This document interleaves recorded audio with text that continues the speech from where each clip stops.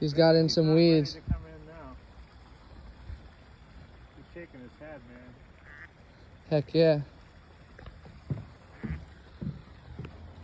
Now he's coming right up.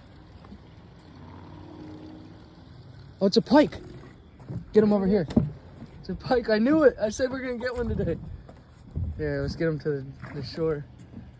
I knew we were gonna get one. It went under so violently, I knew it had to have been a pike. It's jumping. I knew it. That's sweet. They're coming back in. It's a matter of time. Look at that. He landed himself.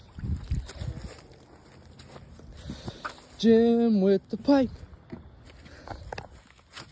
Right in the snout too. There's perfect timing.